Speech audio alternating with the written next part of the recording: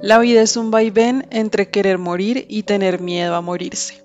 En esos momentos donde nuestro ser toca fondo y resbala para ir aún más hondo, no queremos saber más de respirar.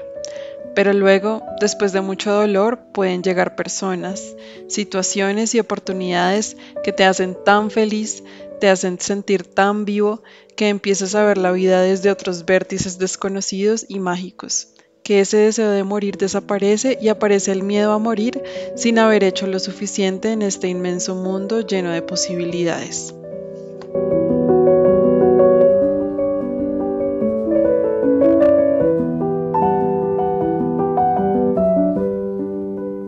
A veces me da miedo no ser eterna y a veces me da miedo perder las cosas que iluminan mi ser y perderle la gracia a la vida. He descubierto en mis cortos 30 años de vida que si no eres feliz estando contigo mismo, no serás feliz con nada ni con nadie. Odiarás tu empleo, odiarás a tu perro, odiarás las flores, odiarás el frío de la noche, odiarás el calor y no es porque estas cosas sean malas en realidad, sino porque son el reflejo de ti mismo.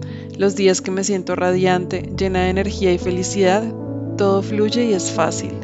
En cambio, los días con tristeza y afán siempre llegan con el universo en tu contra, como si cada cosa que hicieras fuera a salir mal. Y decimos que es el destino, el universo, Dios, pero en realidad es nuestra predisposición psicológica de cómo será nuestro día. ¿Y qué tal si aprendemos a estar solos? Así tengamos pareja, así tengamos familia, así tengamos amigos.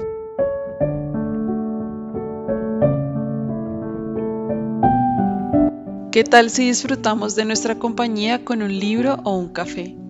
Yendo a nuestro restaurante favorito o al cine. Nos da tanto miedo estar con nosotros mismos y somos la única compañía que tenemos asegurada el resto de nuestra vida. Si eres de esos que odia estar solo, pregúntate, ¿qué es eso de ti mismo que te da tanto miedo enfrentar? ¿Qué es eso tan terrible que siempre tienes que estar llenando ese silencio con alguien o con algo? ¿Cuándo fue la última vez que te sentaste en silencio a reflexionar sobre ti?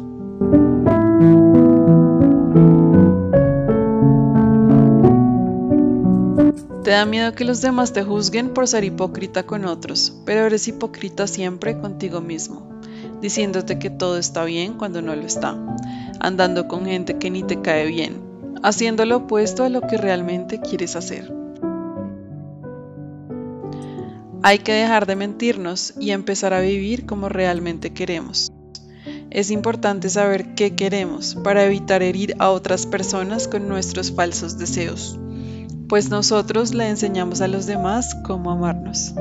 Así que encuéntrate y disfruta cada respiro, porque algún día nos espera la muerte, y no quisieras que ese día llegue de imprevisto sin haberte sido fiel.